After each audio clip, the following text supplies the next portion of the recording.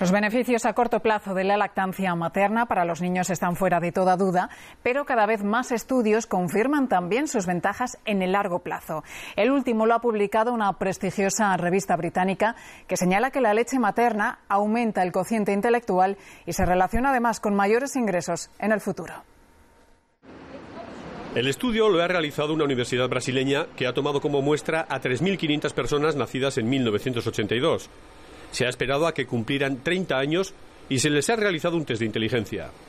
El resultado ha dejado claro que aquellos que se beneficiaron de una lactancia materna prolongada, de alrededor de un año, tienen un cociente intelectual mejor también de adultos.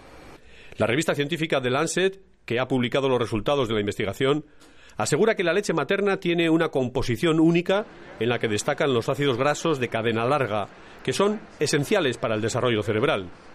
Por eso, dice el informe, la lactancia materna prolongada, además de influir en el desarrollo cerebral y la inteligencia de los niños, mantiene sus efectos también en la edad adulta.